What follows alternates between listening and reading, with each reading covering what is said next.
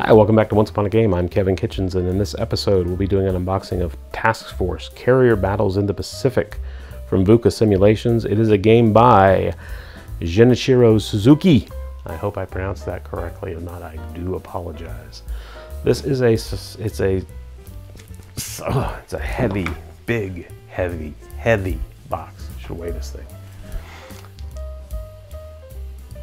It is a uh, excuse me, it's a game about the most important battles from the Pacific Theater in World War II. The game is designed to be accessible and enjoyable for all, ranging from players with no experience of war games or simulation games to those with an intermediate or above proficiency in the genre. There are 10 scenarios. It is rated 5 in complexity and a 7 for solitaire suitability, so that's pretty cool. This takes place from 1941 to 1942 in World War 2. So let us find out what is inside this, making it so, so heavy. Hey, if you're enjoying these videos, be sure to give us a like and a share. Don't forget to subscribe and click the bell. One ringy dingy. So one thing that makes these this heavy is VUCA Simulations does a great job of production. In fact, you know, it starts at the at the box. I mean, the boxes are very solid, very thick, very nice walls, very high quality production they do. So you get a game from them, you know you're getting quality. At least in the production. Can't say that about every rule game, but they seem to be quality, not quantity. So anyway, so we're gonna start. We have the scenario book. This is a full, you know, full box size book. Looks like an A4 printing, um, 28 pages, full color. And we, in fact, in fact, this is the, oh, this is the scenario Duh. So this goes right into the scenarios, and there are, as promised, 10 scenarios. The attack on Pearl Harbor is where you begin. It's a tutorial. It's for one. It is designed for one player. So this particular battle is a one-player game. So uh, that's that's good to know. There are some solo scenarios in here. Um, in fact, let's look at all of them. We have Attack on Pearl Harbor, the sinking of Prince of Wales, and the Repulse, the Battle of the Java Sea, a fictional carrier versus carrier, battle, the Battle of the Coral Sea, Battle of Midway, Battle of Eastern Solomons, Combined Fleet versus Pacific Fleet, it's fictional, and the Indian Ocean Raid, which is fictional. Finally ending with the battles of Santa Cruz Islands and the Second Naval Battle of Guadalcanal. And there's a bonus 11th scenario, which is a custom scenario for the Solomon Islands.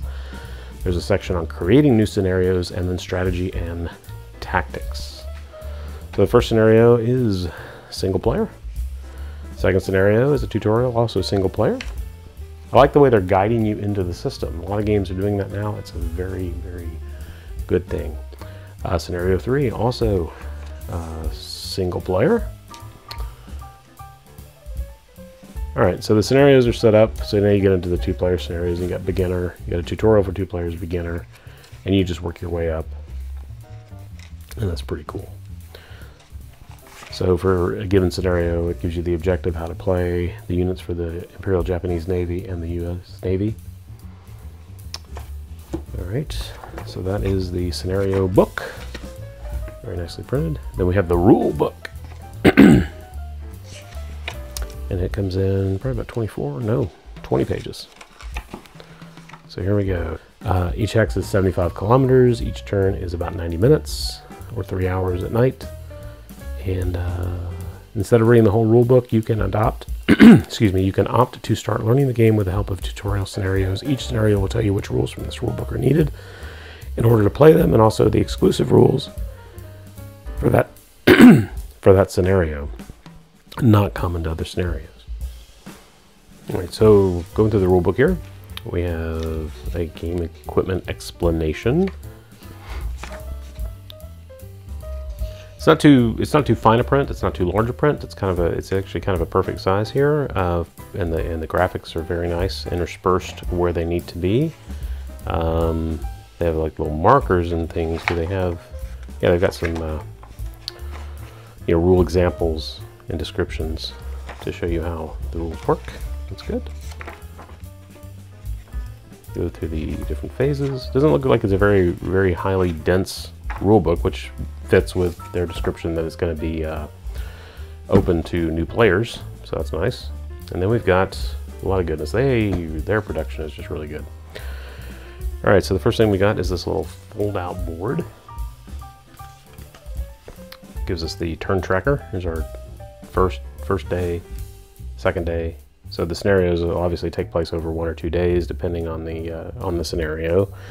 Uh, you got a couple night turns, and you got your day turns going here, and then night, night, day, and day. So that's pretty cool. Up to 24 turns, so that's kind of nice. And then the instructions are clearly printed. Very clear, easy to read. Like I said, their production values are pretty good. We have a red and a blue. Who's gonna win?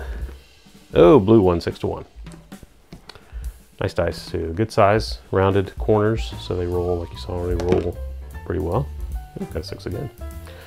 All right, now we got some counter sheets. Let's take a look at those. We have, obviously we're gonna have ships and we have search, search markers, uh, and they have various outcomes on the back. We have detected, misdirect, contact. So you're gonna probably draw those from a cup to determine how your search went. Here is the Enterprise, the Dragon, the Revenge. Interesting that they have the uh, the names of the ships written written in Japanese as well as American. Yeah, American English. That's Listen, mice making American. Uh, we got our turn tracker. The board feels kind of flimsy, but these things punch out really well, and they feel like a pretty good, pretty good counterweight.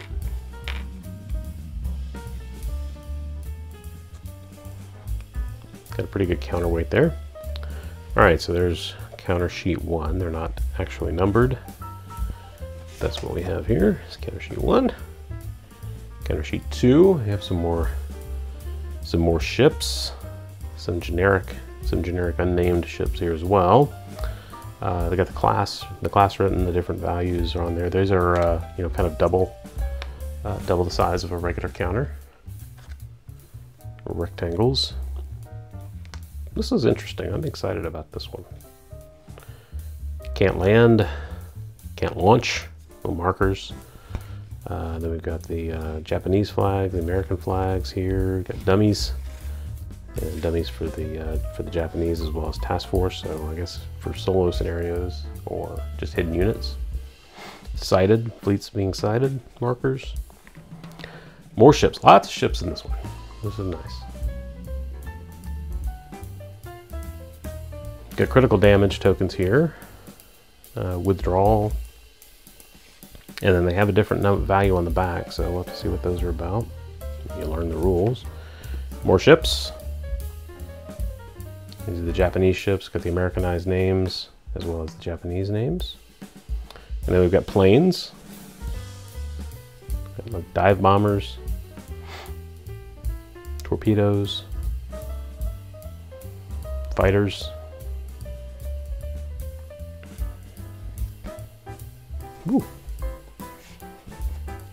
So we got like six sheets of counters here.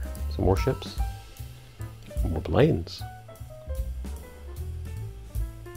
I like how the, uh, the, the the American ships have uh, the American planes are going in one direction and the Japanese planes are going in a different direction. So even just by color when it's on the map, it kind of give you that effect of approaching each other. So everything's kind of like being away. One last sheet. A lot of Japanese planes, a lot of Japanese ships here. It makes sense that we would have a lot of Japanese ships since we're they have the home field advantage. Got zeros, betties. All right, so there is that. Now we got our. Let's see what we got here. So we've got a little overview map here. The attack on Pearl Harbor. And obviously, oh, here's where all the ships are that were sitting there waiting. Unfortunately. There's the Arizona. So this is just a, this is a, this is actually this is really nice too. It's on uh, even finish the back, Yeah, with like a watermark look. Uh, it's kind of a linen uh, canvas, faux canvas paper. It's not it's not just your regular paper. It's got kind of a texture to it. Uh, very nice. So there's the map of Ford Island, Pearl Harbor. Then we've got a fold-out game board. Oh, they have lots of game boards here. This is Battle of the Java Sea. And it's a, just a small map, so you're just going to play this on this small map here. And if you flip it over, you've got the sinking of the Prince of Wales and the repulse. And it's just a plain ocean map. This one has some pre-designed locations here, pre-designated locations, as well as your, as well as your uh, cardinal indicator, compass points. So that's nice. Nice seamless map mounted. Very cool.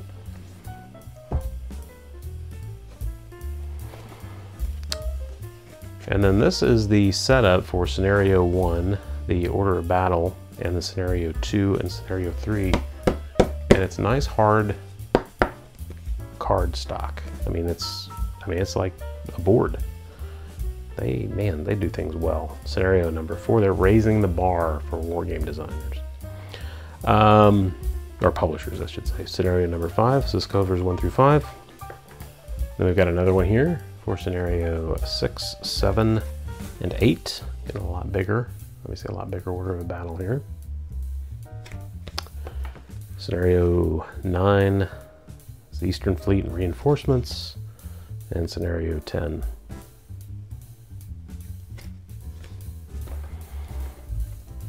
And then we've got a chart. All their charts, instead of being on cards on uh, cardboard, cardstock, are on this chipboard. It's really cool alternate order of battles for scenario 5, scenario 9, scenario 10, scenario 6, 7.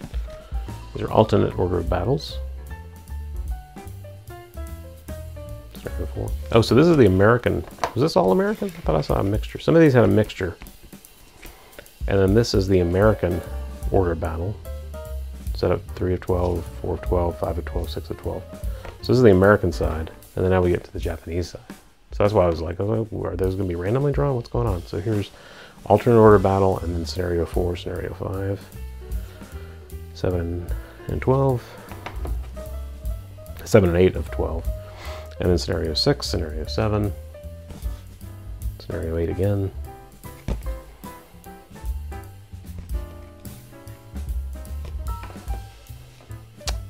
Scenario 9, South Seas Fleet, the Malaya Task Force, Scenario 10. And that's 11 of 12 and 12 of 12. So wow, gosh, that's what's making this heavy. That's pretty cool.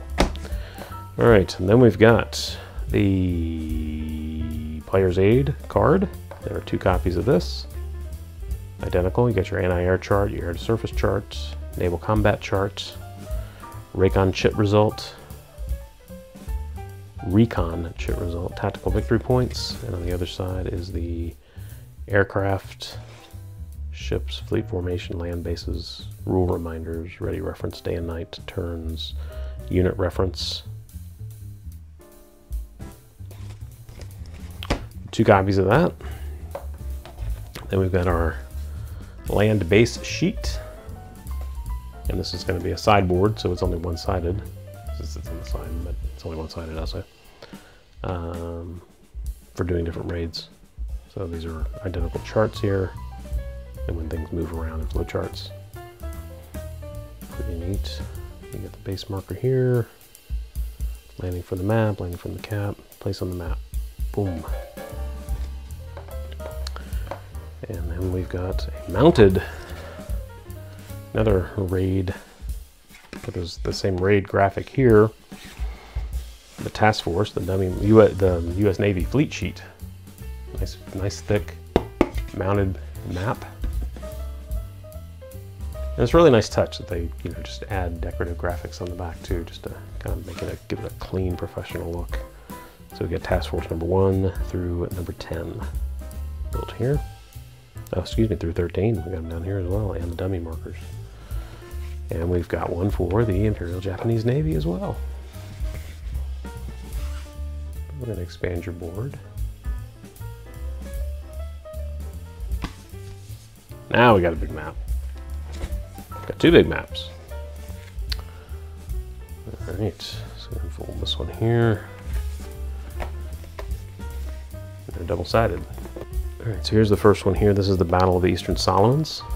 So it gives you the map for this battle instead of having just a generic map out where you have to like lay out things and, you know, boundaries etc. It also shows you here clearly where the uh, U.S. Navy is going to start, where the Imperial Japanese Navy is going to start, and the battle here for, for Henderson, Buka, Eastern Solomons, and then on the other side, Battle of Midway. Everybody starts here. Get to Midway. Very nice. Very nice. Yeah, we got some great, great games coming out lately. And VUCA is, is leading the way. Okay, so now we've got the Battle of Coral Sea. Map for that scenario. And on the other side, the combined fleet versus Pacific fleet. This is fictional. And again, it's gentlemen, start your engines and go to town. So, if you pick up a copy of the very well produced Task Force Carrier Battles in the Pacific by VUCA Simulations, you're going to get the scenario specific maps, double sided, two uh, 4x2 uh, A4 size, so 4x2 panels, uh, double sided maps. You're going to get the uh, U.S. and Imperial Japanese Navy fleet control mark uh, control boards. You're to get the land base sheet board. You're to get two copies of the player reference charts, all on thick chipboard. You're to get the 12 order of, well, there's six sheets for setup your battles, double-sided. You're to get the smaller uh, two-panel board for Battle of Java Sea and the sinking of Prince Edward and the Repulse. You get the little small map, paper map for Attack on Pearl Harbor. It's a tutorial scenario. You're gonna get five sheets of counters, no, six sheets of counters and no five, six sheets. Six sheets of counters and markers. The one little turn tracker board, sideboard, two dice, blue and red, Blue keeps winning, rolling sixes. Can you roll other than six? There you go, got a two. The rule book and the scenario book. And a nice, beautiful box. And that is everything that comes in Task Force Carrier Battles in the Pacific by VUCA Simulations, game designed by Genichiro Suzuki. Thank you so much for watching. God bless you. Bye-bye.